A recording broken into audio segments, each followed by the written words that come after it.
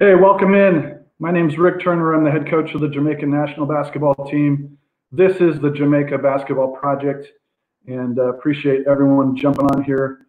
On the live stream today, have a, a really special guest I'll introduce here in a moment.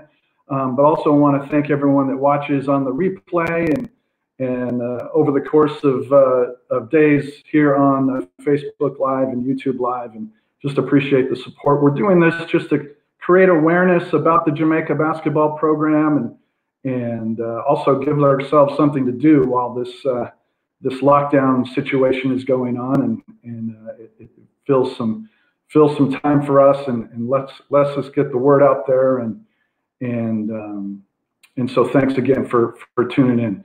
Uh, as I mentioned, I have a, a, really special guest on here today, someone who um, is uh, knowledgeable, experienced, uh, as dialed in as they come in the in the sport of basketball. And usually, Jay Bilas, when they say those things about you, it means you're old. That's exactly what it means. How you doing, Rick? Yeah, good, man. Thanks for doing this. Appreciate it. And and I got a uh, I owe you not only thanks for doing it, but also an apology. We were going to do this last night, and then it occurred to me that everyone has been waiting around for some some some some new content and The Last Dance came out last night. And uh, I would imagine you were among the millions of people that were in front of ESPN watching that last night. Yeah, my whole family. Uh, it was really good. Really enjoyed it. And uh, after the after the broadcast was over, I actually texted Steve Kerr to say, I don't know whether you looked 50 when you were 25 or you look 25 now now that you're in your 50s because uh, he looks exactly the same. It's amazing. Yeah. Yeah, it's great. Then and it's something to look forward to now. We got two episodes coming up next Sunday, but I can't let it go without I mean, you played against the man. Mid 80s, a lot of our Jamaican followers, you know, may not know your background. Of course, uh, uh, so many of the uh, American followers that we have do. But if you're in Jamaica and you, and you only know Jay Bilas from ESPN and in college basketball, he played for the Duke Blue Devils in the in the mid '80s, and and uh, Michael Jordan was the guy that he played against. And uh, just give me some of your thoughts about playing against uh, MJ's Carolina teams and and what that was like back then. I think you guys only got one win against them, if I'm not mistaken. That was in the yeah, Jordan was there. Yeah, we we got we got plenty more after he left, but when he was yeah. he was there two years uh, of the four that I played in college but the first time I saw him was, you know, I grew up in California in Los Angeles, and the first time I saw Jordan was at a pickup game in Chapel Hill when I was a freshman. My fellow freshman and I, we went over to Chapel Hill to play pickup with them, yeah. and uh, with the Carolina guys. And it, it was the first time I think that I, as a basketball player, saw what relentless really looked like. You know, you'd heard the term, but you hadn't really seen it on the floor.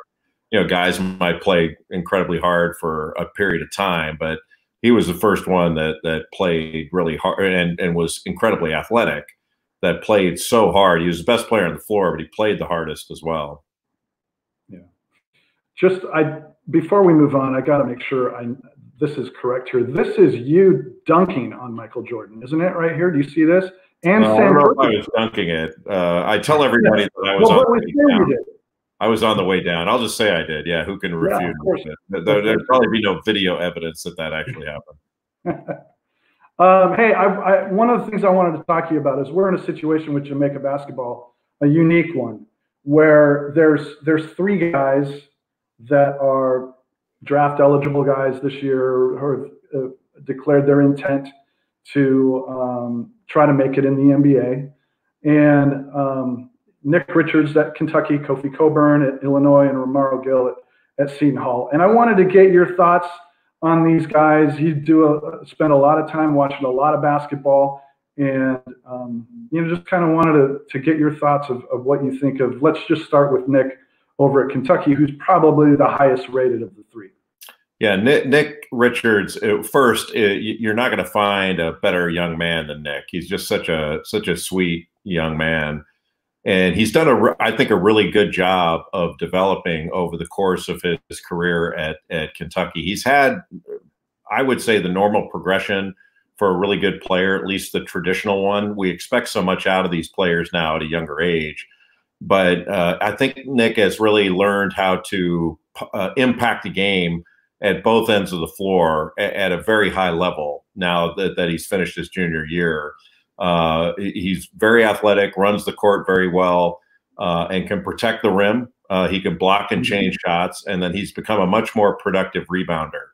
Uh, did a really good job, I thought, of of running the floor and rim running, uh, and he's a he's a good offensive rebounder as well. Uh, but his his offensive game has has matured enough to where he can he he can make a post move and uh, and he does a very good job of uh, of finishing around the basket. And he's he's playing much stronger and making quicker, more decisive moves. So I've really been impressed with uh, with Nick and the way he's come along. I think he's going to be a good NBA player. Yeah, you know the cool thing about about is is you touched on at the beginning of that is he wasn't so prideful coming into Kentucky, where if you're not a one and done guy, you're a failure. Um, and he wasn't so prideful that he he couldn't come back for a summer year and then again for a junior year, and you see what it what it has done for him. If he would have, I think, let ego get in the way and and and just come out you know, who knows where he'd be right now? Not in the NBA, you know. That's a really good point. Yeah, he, he's, yeah. he's that's why I said sort of the he's had the normal progression in an old school way for a really good player. Right. You know, you come in, you uh, you know, you learn, you get a little bit better year by year, and then he he sort of mm-hmm. broke out this year and became the player we we all expected him to be. You ever talk to Coach Cal about him in particular? Or? Sure. Yeah, sure. Um, sort of that the just that idea that I mean, it's been a little bit, you know, it's not been a struggle. It's been, it's been a progression for, for him. Yeah. I think because he was so talented and McDonald's All American, and he was expected by a lot of people to only be there for a year, but it didn't work out for him. He just wasn't consistent. You know, he might mm-hmm. have one game where he had, uh, I remember his freshman year, he had one game where he had nine rebounds but he yeah. followed that up where he didn't have he didn't have 20 rebounds in his next six games and uh, uh, combined. So it, it, was just a question of of him learning how to impact the game consistently, um, and and I think he really built toward that. He broke out this year and really really became that player that we expected him to be. Yeah. Another guy, Kofi Cockburn over at Illinois. Yeah, Kofi. Freshman of the year of the Big Ten. Yeah, Kofi um, Cockburn was really a, a revelation to me. I didn't see him play in high school, which is a little bit unusual for for top players that I would usually see him, but I didn't see him. And uh, I mean, you, you, know, Rick, his body is he looks like an NFL player, and he's got good hands, and uh, and I thought he really his skill level just really started to shoot through the roof, where he was getting not only getting better but getting more and more confident uh, mm-hmm. as he went along. And man, he, there, there was there was nobody in that league that was as physically imposing and could back it up as as well as he could. Uh, I was really impressed. I think you know now. What do I think he would be better off if he uh, stayed in college and became a more dominant player rather than going to the NBA and be a be a role player? mm-hmm. uh, right away. Um, I, I, think that might be better for him, but reasonable minds can differ on that. But but I yeah. think he's going to make somebody a very very good uh, addition because of of his size and his ability to move his feet uh, and his his uh, his skill level, which is rapidly improving. Give us some insight of what a young man like Kofi goes through. You know, ha- having the, the the really solid freshman year. I'm sure there's people in his ear all the all the mock drafts that I see don't have him anywhere in the first or second round. I don't know whether and you know how you believe that. What where are they getting advice? I'm sure it's not just it, it, there's not a cookie cutter approach, but but he must think he has a chance to to make an NBA roster if he's gonna if he's gonna leave early. That's a good question. I, I, don't think it all, Rick, comes down to just somebody getting in their ear and giving them, you know, what some may consider, we may consider less than good advice. Mm-hmm. I think it's just a function of these players are are growing up in an era where they look to one side or the other and they see a peer of theirs that's going into the NBA and being successful. And I think just just as we might when when we would look at a player that was maybe McDonald's All American, you thought, you know, like you thought you were as good as that player. You know, you yeah. say, you know what, I'm gonna I'm gonna go do this too, or I'm gonna I'm just as good. Um, that's part of it, I think, just that that natural uh, response.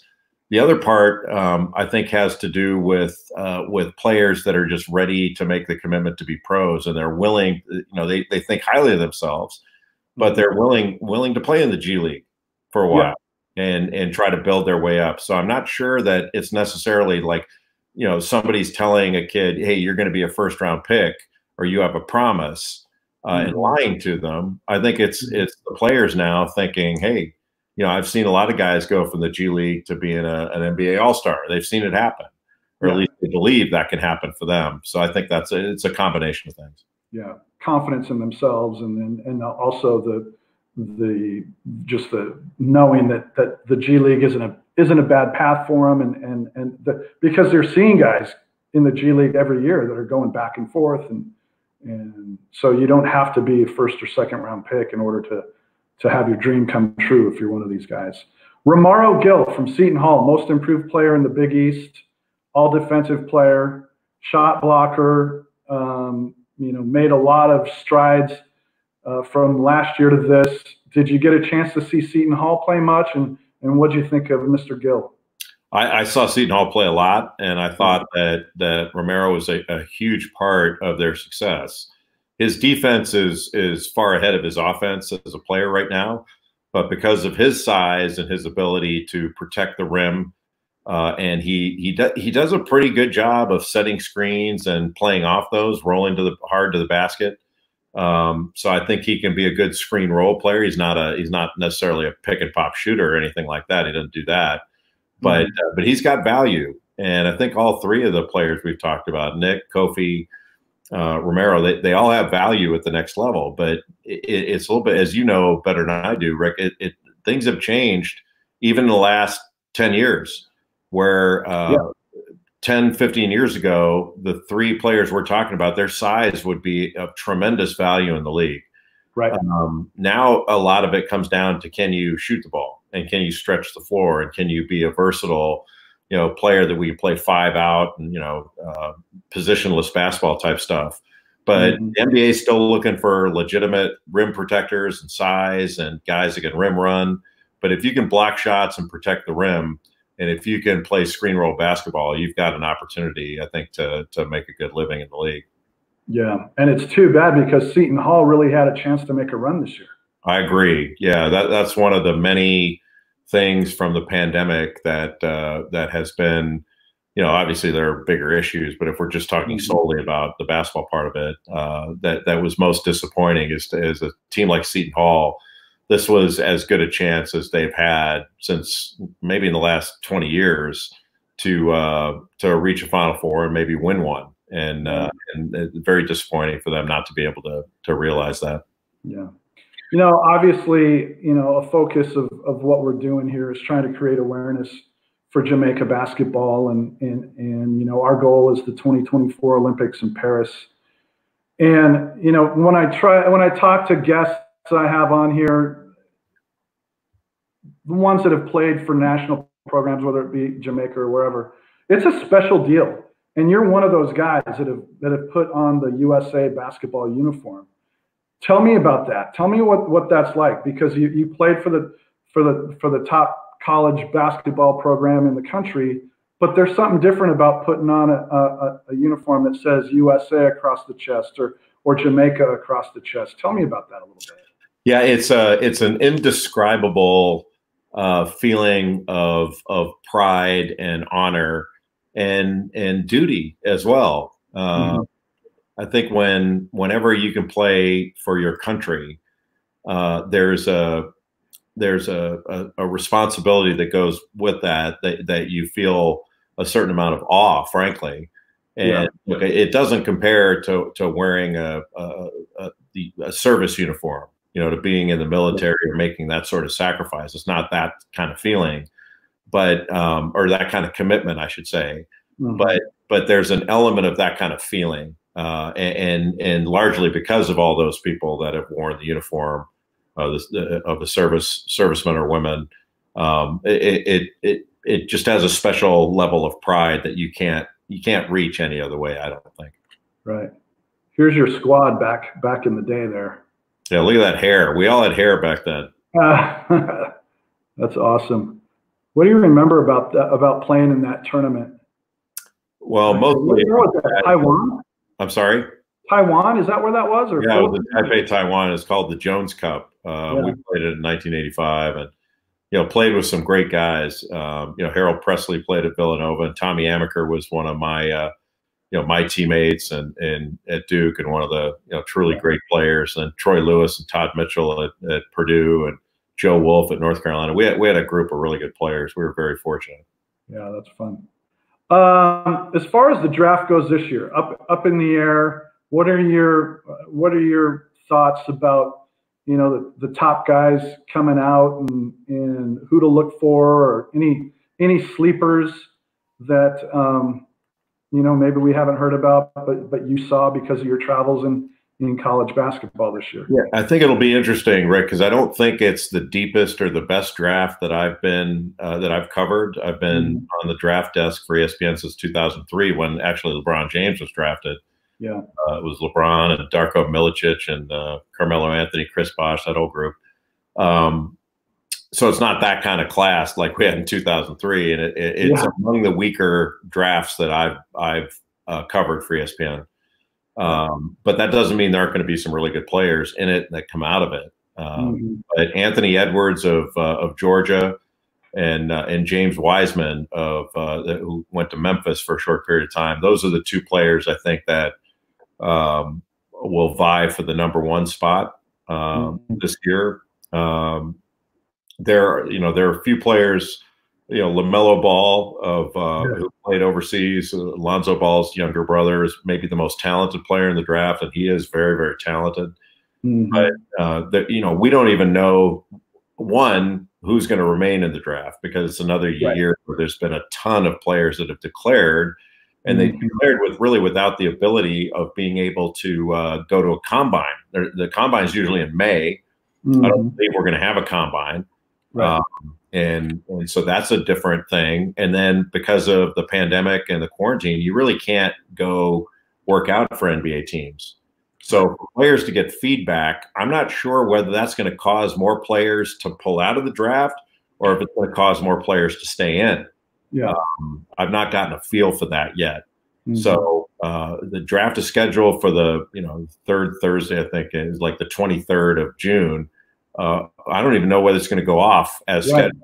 You know whether they're going to keep it where it is or if it goes into because they have to establish a draft order. And Exactly. if the NBA doesn't finish the season, they can go off of this draft order and then have a lottery to determine you know the the first you know first few slots, but uh, or the first whatever the slots are up to 13 or 14, whatever it is Mhm. but it's it, that's a that's going to be a, a difficult thing to figure out in the short run. So Yeah. uh, I don't even know when the draft's going to be. That's got to be unsettling for all the players. Yeah, yeah. Okay, before I let you go, just a couple more questions Sure. about kind of about the draft and, and that. You know, you talked about LaMelo Ball. Um, R.J. Hampton from New Zealand skipped college. Mhm. Uh, a couple of guys uh, this year, Jalen Green, Isaiah Todd, doing the same thing, going right to the G League. What's what do you think that impact is going to be for college basketball? I kind of think it might have a positive impact ultimately. I just I want to get your thoughts as as more and more guys decide that they're just going to directly turn pro and, and bypass college altogether. Yeah, I don't see it having a positive impact. I don't think it's going to, you know, look, it's not going to kill college basketball or anything or, or, you know, decimate it or hurt it, all these doomsday predictions, but it's really not going to help it. I just don't see a scenario where not having the best players makes college basketball better. Um, I don't buy that. And if and if people are saying if there's some sort of thought that, well, that will allow uh, everyone to focus on the the four year player, the, the the player that sticks around for a longer period of time. Well, nothing's stopping uh, uh, you know fans from focusing on those players now.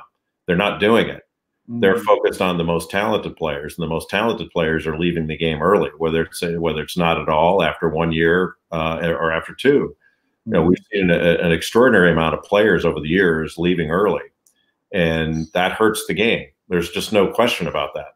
yeah. Um, the the but my thing eh, with college with the college space and the NCAA is you know it's not just a function of we're losing all the talent the function the, the question is what's the best thing for young players mm-hmm. and a lot of us think the best thing is for them to go to school for a, a, period of time whether it's one year two years whatever it is i can't believe zion williamson didn't benefit from being at duke for a year duke mm-hmm. certainly benefited but i think zion did too so yeah. we need to, we need to be more uh, more open to allowing players to accomplish more while they're while they're in school, earn money, do all these different things, do commercials, you know, their name, image, and likeness, so that we provide incentives for them to stay in school, not not barriers. Yeah. Is there a special talent involved in coaching one and done guys? How come some programs are more successful with them than others? And I and I specifically I think about where I am in Seattle about University of Washington, who's had a run of over the last 10 years, one and done guys that haven't even made the NCAA tournament, whereas, you know, the, the blue bloods, if you will, are getting those guys and, and having success. Is there, is there a special talent to coaching those guys or What's your what's your thought there? That's a good question. I think it has to do with how many of them you have. right. So if you have if you have a, a player that is only there for a, a year and you only have one, maybe two of them, mm-hmm. uh, it's, it's, extraordinary to have 2 mm-hmm. um, you'd better have a lot around them uh, because no two players are going to win, no matter whether they're seniors or, or freshmen. Mm-hmm. Uh, but when you see teams like Duke and Kentucky do a little bit better, it's because they got five or six of them yeah. and uh, and then they have a few older players. So everybody's got older players. Yeah. Um, so I think I, I, think it's more a function of that. I mean, you saw it, you've seen it at, at, at LSU when Ben Simmons was only there for a year, uh, and uh, same thing this year at Georgia with Anthony Edwards. Those are programs that didn't make the NCAA tournament. So one player is usually not enough to to turn a program and all that uh, you'd better have you'd better have a bunch of, of, really good players because that's what it takes to win uh, on any level. But I don't I don't put it on coaches. Yeah. Um, it's difficult to to coach any any freshman, let alone a player that you you know you're not going to have for the next year. That's a that's a different dynamic. But it's not it's not driven by the coaches. They they just have to deal with what they have. Yeah. Um, for the last what maybe eight years or so, I want to say 2013, you've been doing your own camp in North Carolina. And a yeah. basketball um, camp that got canceled this year. Yeah, we just pulled the had to pull a plug on it a couple weeks ago just because of facilities and the like. But it's been a really rewarding experience, not just to, uh, to work with the players. We have about 120 players that come in from all over the country, high school age players. But we've had a, a coaches development program and then a coaches leadership program that have, have been very um, not uh, hopefully successful, but but uh, uplifting for all of us, I think, and uh, just renewing our commitment uh, over what this is all about. And it's really about you know the the coach player relationship. Uh, so we we've spent a lot of time on that uh, in the last seven eight years, trying to build it up. And you know it's unfortunate this this summer, but we'll we'll get back to business next year, we hope, and and and try to move forward in a positive way. So I get a hard time from my friends once in a while when I bring up the fact that uh, I wrote a book. Um, you did the same, but your book is a lot cooler than my book. My book is called "If My Name Was Phil Jackson, Would You Read This?" your, your, book is called Toughness, and, and the reason I wanted to bring it up, and and I know I know you wrote it a few years ago, but you can still get it on Amazon. And um, one of the things that comes up a lot when I'm talking to Jamaican coaches is they keep saying our kids just aren't tough enough. You know, they just they don't know what it's like to work hard. And you dedicated an entire book to that topic. And just wondered if I could just get your thoughts about about players nowadays and the toughness it takes to to be a winner. Yeah, it's a good question. I mean, I, I don't I don't think players nowadays are are that much different than they used to be. I don't either. Um, and and I can't speak to what what players are like generally or specifically in Jamaica, but the players I come into contact with uh, spend more time playing and work harder than we ever did. Yeah. Um, you know, I, I, I coached my son's AAU team for a couple of summers, and we had some really good players, and, and, and it was a really enjoyable experience. But you know, every once in a while, you know, players would play three games in a day, and yeah. uh, maybe didn't play well in one of the games, or wasn't sharp as you would you would hope, or they would hope, and afterwards, some of the parents would, would say, "Well, we gotta we gotta these kids don't know how to work hard, they don't know how to play hard, compete." Mm-hmm. I said, you know what we need to do? We we need to take all of our old film and show it, show them how we never took a playoff and we always played well in our third game of the day. Okay. And I'm just sometimes I wonder if our expectations are a little out of whack. Um, you know, the, the the main thing to me is, especially with younger younger players, and I'm not talking about on the national team level where it's where it's that sort of elite level, mm-hmm. but for younger players, um, it's supposed to be it's supposed to be a fun experience. And if if practice isn't fun for the coaches, it's probably not going to be fun for the players. Mm-hmm. So how can we get our work done and uh, and you know sort of accomplish what we want to while at the same time making it competitive and fun? It doesn't mean everybody has to be having laughs all the time. Yeah. But, but being creative enough to where it's something they want to do. And you know, the the to me, you know, the the times I worked the hardest, I wasn't thinking about the work I was doing. I was I was playing because I I loved it and I loved being out there. Right. And and I loved the sort of the competition of it, and I was willing to do what it took to compete. Mm-hmm. And I think that that was true of the guys I played with. But I, I give credit to the coaches that we had, um, and so that that's really what what our role is. You know, as we're older in the game now, is creating an environment where the players can go out and and perform and achieve and and all that. Um, you know, it's not all a reflection of what you know what we're doing. You know, sort of as the adults in the room or the, mm-hmm. coaches and administrators. Um, you know, we, have got to provide the players the, the, the platform and the best opportunity to perform. Otherwise, what are we doing? You know, I don't. There's sometimes where I, I want to say I don't get it on the lower levels because I'll go and watch, and and the coaches are are just at times unreasonable, and, and with the way they handle themselves, the way they handle their players, and uh, it's not every it's not everywhere, it's not all of them. Of course, it's just a smaller percentage. Most most of the coaches I I deal with get it, but uh, but generally, I don't find the complaints um, uh, about players not being tough or players not working hard I don't find that an indictment on the players. I find it sort of a, a an admission by the coaches, if you will. Yeah, you know, um, I feel like AU, I don't know if you feel the same way. AU is its own culture, you know, in terms of of basketball, and and I think we allow things to happen there that that we normally wouldn't. But but that's the way it is. If this thing goes on longer than anyone expects and it wipes out the summer. What does recruiting look like for college coaches going into into next year? And it probably doesn't affect the top 50 or 100 players, but but will it bring high school basketball back into play a little bit more and give it a little bit more emphasis than than the AAU or or no? If that's all we have, it will. Um, you know, if we go through a summer and we don't have any AAU or uh, you know, sort of the normal camps that we would have. W- will that, if the first time you can really see a player is, you know, next next winter, um, it may for a short period of time, but things, you know, when things normalize, we'll go back to the the way we have been doing it. And you know, I think your point about the AU being its own culture, and, and you're not just talking about the AU; it's summer basketball. We're just using that as a uh, shorthand, but um, sort of the summer basketball culture. I mean, it is what we've made of it. And the reason, like, like my kid went through it. Did I have some questions about it? Yes.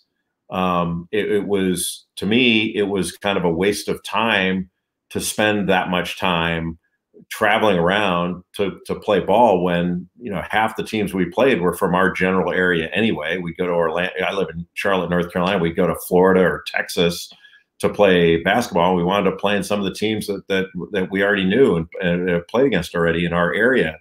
So you know, you're kind of going, well, what what's the point of this? Um, you feel forced as a parent. You feel forced to do it though.